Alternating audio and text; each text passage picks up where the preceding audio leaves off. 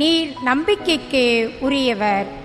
திருத்தூதர் யோவான் எழுதிய மூன்றாம் திருமுகத்திலிருந்து வாசகம் இறை வார்த்தைகள் ஐந்திலிருந்து எட்டு வரை. அன்பார்ந்தவரே நீர் சகோதரர்களுக்கு அதுவும் அறிமுகம் இல்லா சகோதரர்களுக்கு செய்தவற்றை எல்லாம் பார்க்கும்போது நீர் நம்பிக்கைக்கு உரியவர் என்பது தெளிவாகிறது. அவர்கள் திருச்சபையின் முன்னிலையில் உமது அன்பை குறித்து சான்று பகர்ந்தார்கள். எனவே நீர் அவர்களை கடவுளுக்கு உகந்த முறையில் வழி அனுப்பி வைத்தால் நல்லது. ஏனெனில் அவர்கள் கிறிஸ்துவுக்காக பயணம் மேற்கொண்டவர்கள். பிற மக்களிடமிருந்து அவர்கள் வழியில் எதையும் பெற்றுக்கொள்ளவில்லை. இத்தகையோருக்கு உதவுவது நமது கடமை. இவ்வாறு உண்மைக்காக உழைக்கும் அவர்களின் உடன் உழைப்பாளர்கள் ஆகிறோம். ஆண்டவரின் அருள்வாக்கு. இறைவனுக்கு நன்றி.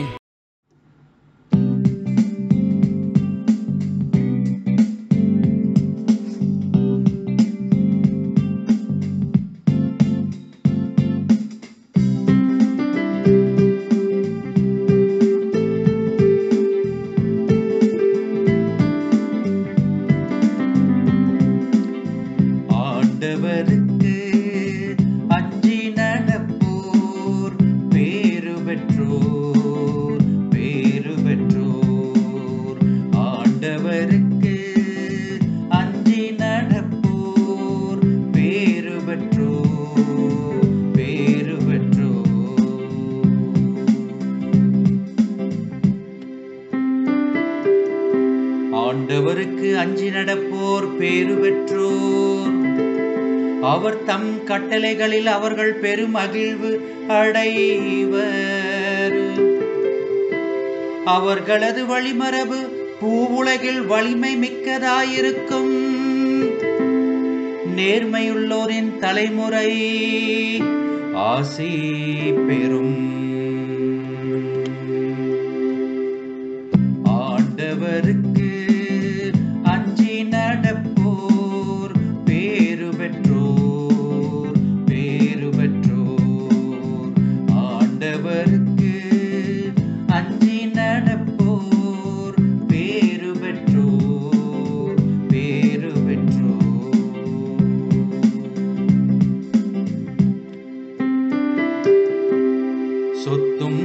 செல்வமும் அவர்களது இல்லத்தில் தங்கும். அவர்களது நீதி என்றென்றும் நிலைத்திருக்கும். இருளில் ஒளியென அவர்கள் நேர்மையுள்ளவரிடையே மிளிர்வர். அருளும் இரக்கமும் நீதியும் உள்ளோராய் இருப்பர்.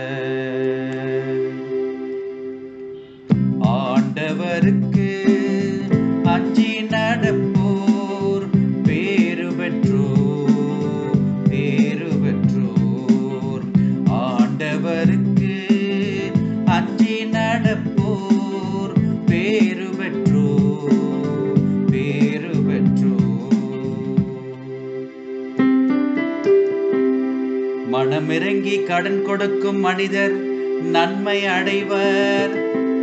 அவர்கள் தம் அலுவல்களில் நீதியுடன் செயல்படுபவர். என்னாலும் அவர்கள் அசைவுறார். நேர்மையுள்ளோர் மக்கள் மனத்தில் என்றும் வாழ்வர். ஆண்டவருக்கு அஞ்சி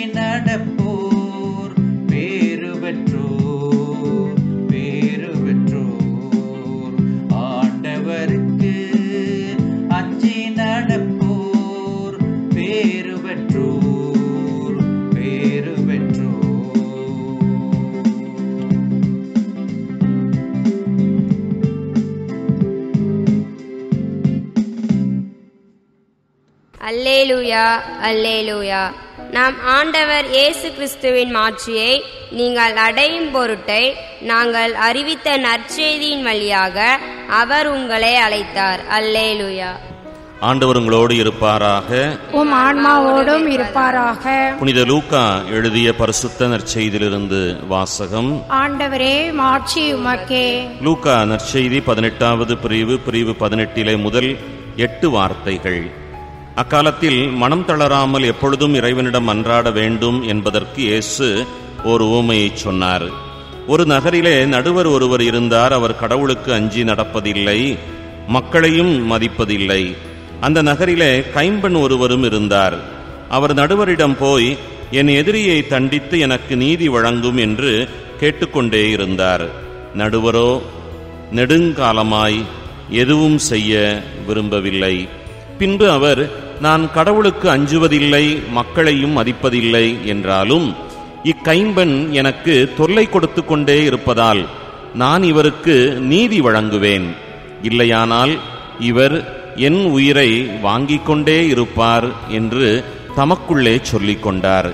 பின் ஆண்டவர் அவர்களிடம் நேர்மையற்ற நடுவரே இப்படி சொன்னார் என்றால் தாம் தேர்ந்து கொண்டவர்கள் அல்லும் பகலும் தம்மை நோக்கி கூக்குரலிடுகின்ற பொழுது கடவுள் அவர்களுக்கு நீதி வழங்காமல் இருப்பாரா? அவர்களுக்கு துணை செய்ய காலம் தாழ்த்துவாரா? விரைவிலே அவர்களுக்கு நீதி வழங்குவார் என நான் உங்களுக்கு சொல்லுகிறேன். ஆயினும் மானிட மகன் வரும்போது மண்ணுலகிலே நம்பிக்கையை காண்பாரோ? என்றார். கிறிஸ்துவின் வாழ்வு தரும் நற்செய்தி கிறிஸ்துவே உமக்கு புகழ்.